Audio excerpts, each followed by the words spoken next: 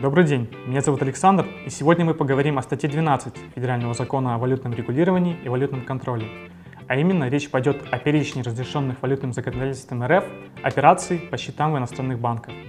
Мы разберем основные разрешенные способы зачисления средств на банковские счета физлиц, валютных резидентов РФ. Согласно данной статье, на иностранные банковские счета могут быть зачислены средства из собственных источников, от других резидентов, а также от нерезидентов. Резиденты РФ вправе переводить на свои иностранные счета денежные средства со своих счетов, открытых в банках Российской Федерации.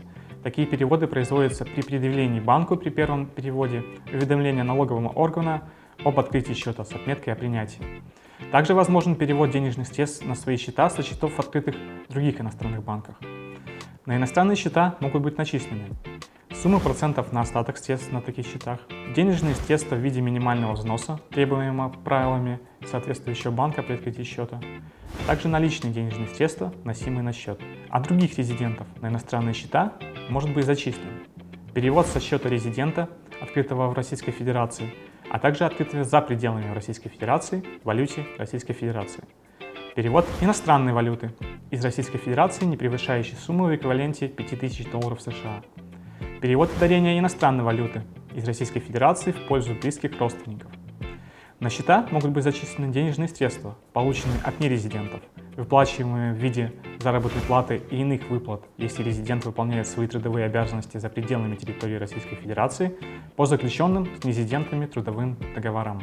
Выплаты в соответствии с решениями судов иностранных государств. Выплаты в виде пенсий, стипендий, алиментов и иных выплат социального характера, а также страховые выплаты.